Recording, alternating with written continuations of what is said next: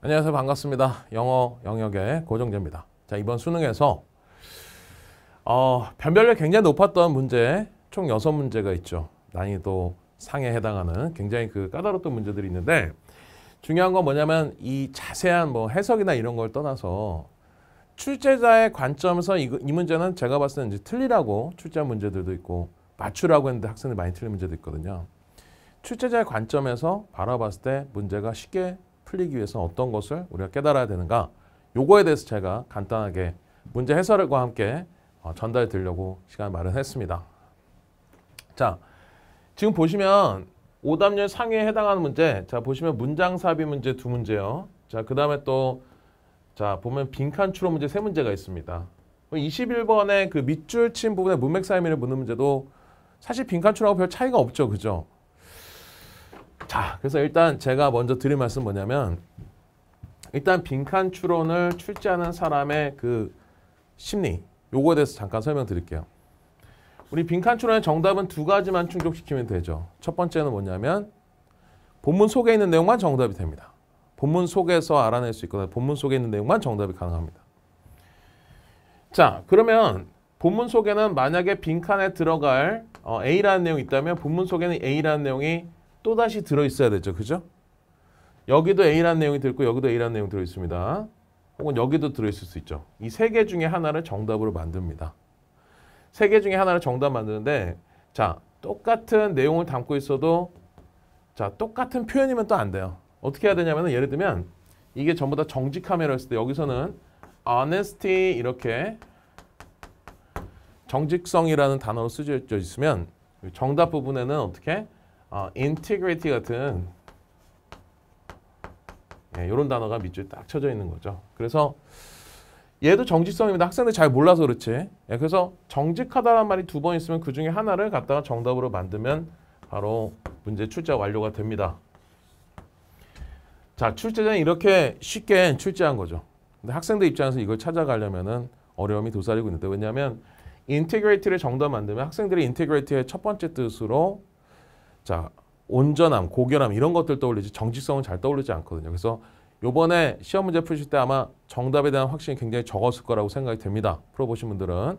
왜냐하면 이 둘 중에서 아네스트를 정답 만들면 정직함이 정답인데 내려오니까 아네스트 있으니까 너무 정답처럼 뻔히 보이잖아요. 그 문제의 품격이 떨어져. 그래서 학생들 정답의 이질감을 만들어내기 위해서 자 아는 단어로 구성되어 있지만 합쳤을 때 무슨 말인지 모르는 그런 표현들을 추구해서 정답의 이질감을 만들어냅니다.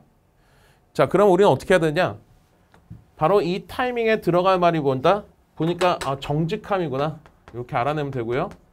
그 다음에 integrity 같은 단어 혹은 우리가 정말 아는 단어로 돼 있는데 정직함처럼 안 보이는 거를 찾아야 되니까 어떻게 해야 돼요?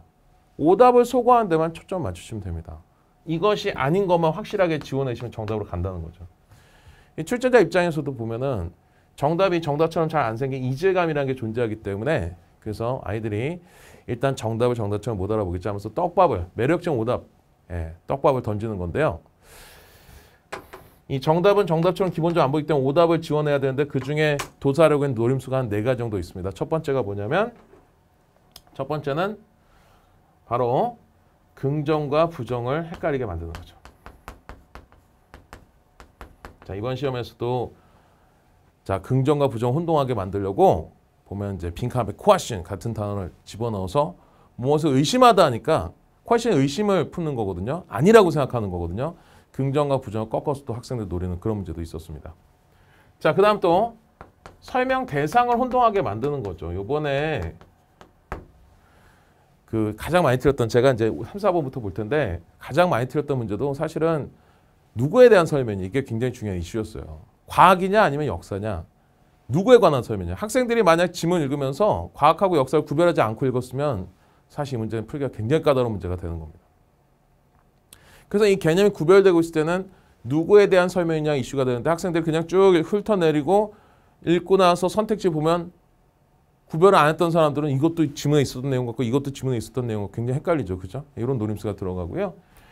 그 다음에 거의 뭐 정답에 해당하는 내용에다가 제시문 밖의 내용을 예, 제시문 본문 밖의 내용 정답이 아니기 때문에 집어넣어서 매력적 오답 만들 수 있는데 이런 선택지는 항상 나오고요. 거기다 또 진짜 맞는 말인데, 예, 진짜 맞는 말인데 이 타이밍에 꼭 필요한 말이 빠져있기 때문에 정답이 아니다. 여기까지는 가지는 않았던 걸로 보입니다. 그래서 총 네 가지의 노림수 중에서 이 세 가지는 활용이 됐기 때문에 난이도가 올라갈 수 있었는데 여러분들이 이게 영어 실력 때문에만 틀린다 그러면 제가 아마 이 자리에서 할 역할이 없을 거예요.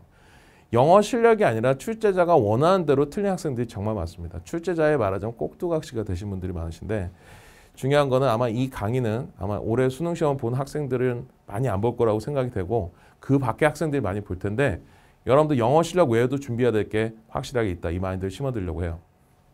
자, 그 다음에 자, 21번 뭐 밑줄형 밑줄형 문제도 마찬가지죠. 사실 빈칸충이랑 똑같아요. 왜냐하면 밑줄을 절대 해석하시면 안 돼요.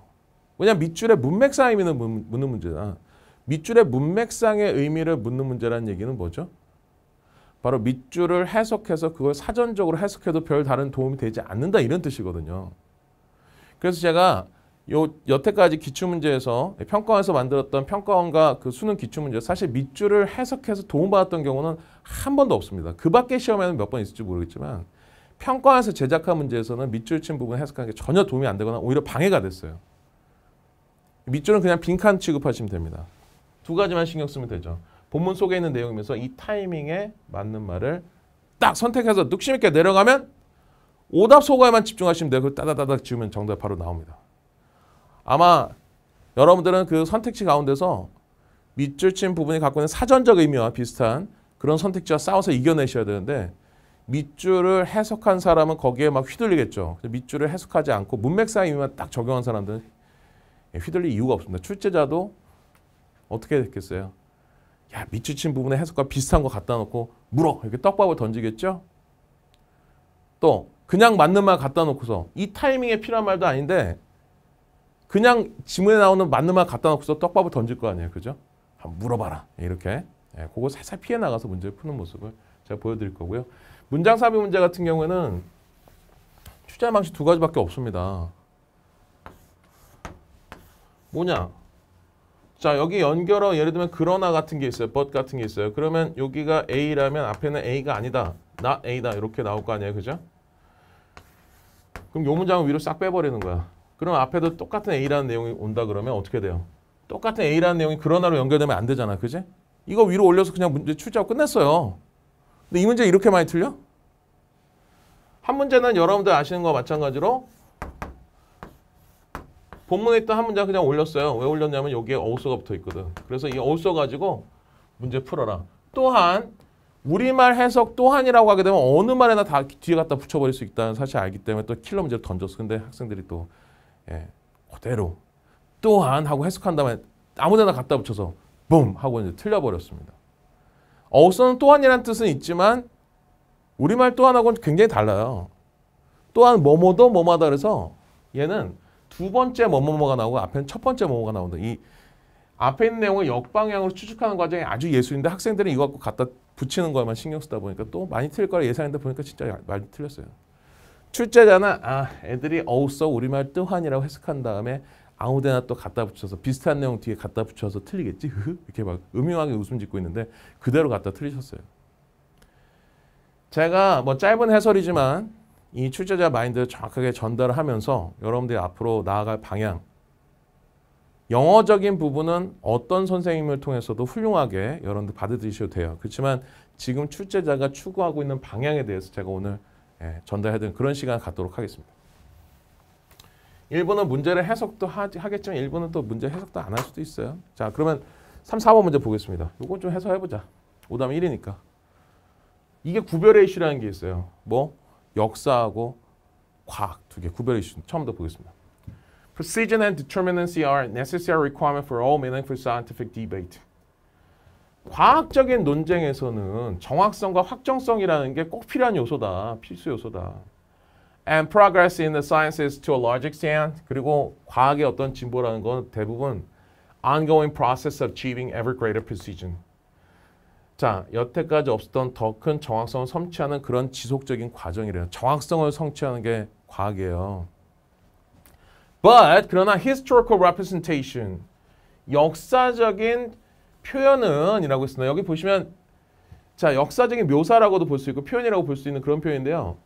지금 여기서 과학하고 반대되는 개념 구별이 되니까 아 이 문제는 대상을 혼동하는 이슈가 들어가 있구나 이렇게 느낌 잡으셔야 돼요. 출제가 그거 보고서 야 과학 얘기냐 역사 얘기냐 헷갈릴 줄 알고 예, 떡밥을 많이 던져놨거든요. 계속 보겠습니다. Puts a premium on proliferation of representations. 역사라는 건 이 설명이나 묘사, 표현 이런 것들을 정말 많이 만들어내는 데다 추가적인 가치를 부여한대요. Hence, 따라서 not on the refinement of one representation 하나의 어떤 이야기를 정제하고 다듬는 예, 그런 것이 아니라 but on the production of an ever more varied set of representation 정말 다양한 이 표현들을 만들어내는 게 목표라는 거죠. Historical insight is not a matter of a continuous narrowing down of previous options.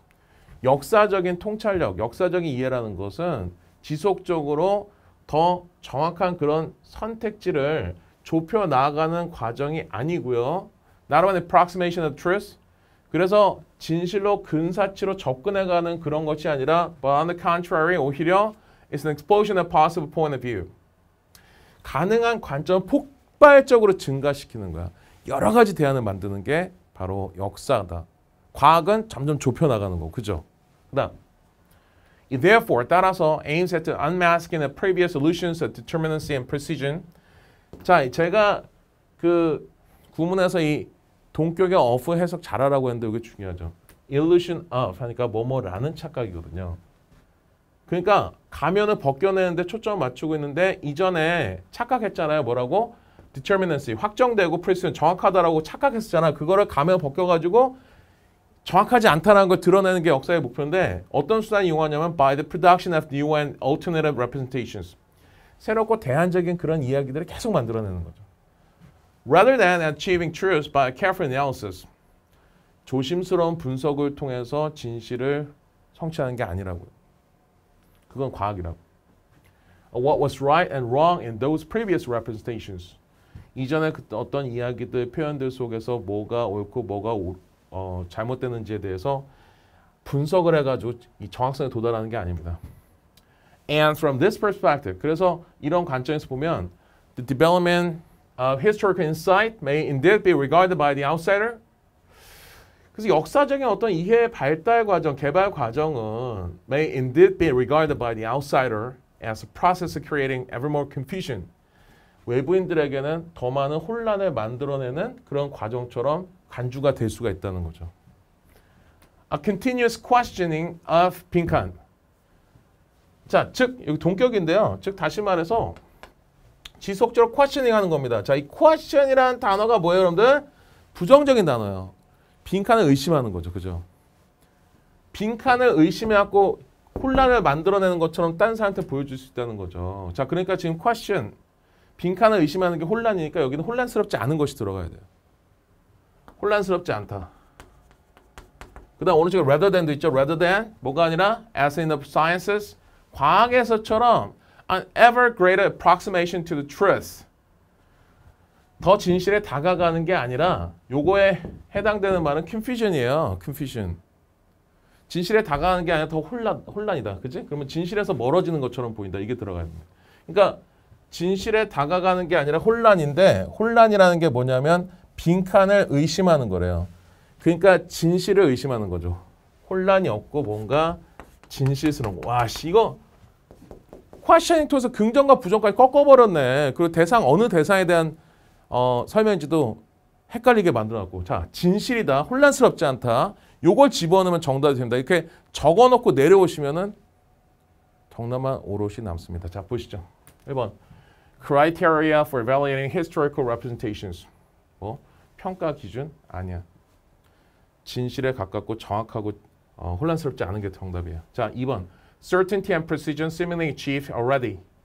겉보기에 어, 이미 성취된 것처럼 보이는 certainty 확실성과 정확성. 혼란 없고 진, 정답 2번이네. 3번. possibilities of alternative interpretation of an event. 자 대안적인 어떤 해석의 가능성. 예, 이것에 대해서 계속 의심을 한다. 어우 그러면 안 되죠 여러분들. 이거 3번은 매력적 오답이에요. 역사 연구는 대안적인 걸 만들어내는 거잖아 그지? 대안적인 걸 만들어내는 건데 지금 이 타이밍에 들어갈 말은 뭐냐면 네, 이 들어간 말은 빈칸을 의심한다는 게 대안을 많이 만들어낸다는 내용이 돼야지 대안을 많이 만들어낸다는 내용 들어가면 안 돼요. 그래서 과학에 대한 설명 이 말하자면 정답에 들어가야 되는데 역사에 관한 설명 요거 집어넣으면 또 안 돼. 왜냐하면 역사에서 틀린 설명이 들어가 정답이 되기 때문에. 야, 3번 선택지 악랄하죠, 그죠? 4번 coexistence of multiple viewpoints in historical writing. 그래도 얘는 다양한 견해란 말은 얘하고 비슷해가지고 예. 근데 여기 coexistence가 나오게 제시문 밖에 완전히 벗어난 내용이 됩니다. 네, coexistence 공존이라고 했는데 예, 그래도 어쨌든 간에 다양한 견해나 대안적인 해석 이런 것들이 들어가면 안 돼요. 그죠? 예. 요거 반대말이 들어가야 돼, 정답이에요. 그다음 5번 correctness and reliability of historical evidence collected. 자, 수집된 역사적인 어떤 증거의 올바름과 신뢰 가능성. 자, 올바름과 신뢰 가능성인데 여기서 뭐가 들어가야 돼요? 진실에 가깝다. 그죠? 예, 진실에 가깝다. 그리고 또 혼란스럽지 않다가 들어가야 돼요. 그래서 보면은 이제 어, historical evidence collected 지금 보면 역사적 증거 얘기도 없었고 그래서 5번이 지워진다. correctness하고 reliability는 굉장히 정답에 좀 가까운 표현 맞아요. 근데 어, historical evidence 자, 이 증거에 관한 내용이 들어갈 타임은 아니고요. 그죠? 예. 역사 담론에 관한 설명이 들어갑니다. 5번은 거의 정답인데 오른쪽에 있는 내용 때문에 지워야 되고. 야 이거 진짜 쉽게 말해서 빈칸 앞에 퀘스처닝이 사람 잡겠네. 퀘스처닝은 의심을 품다 의문을 품다니까 아니라고 생각하다. 이쪽 긍정과 부정이 꺾여야 되고 또 무엇에 관한 설명인지를 노렸기 때문에 출제자가 쳐놓은 덫에 그대로 빠지신 분들이 많은 오답을 찍었을 거라고 예상이 됩니다. 그럼 어떻게 하는 게 해법이에요? 여기 드라마는 아까 전에 그 저희가 문제 풀었던 것처럼 적어놔야 돼요. 딱 적어놓고 긍정 부정 헷갈리지 않게 요거 의심하는 거니까 적어놓고 내려오면 오답이 순식간에 지워져요. 정답을 이해하는 건 사치일 수 있어. 그렇죠? 오답은 순식간에 지워집니다. 오케이.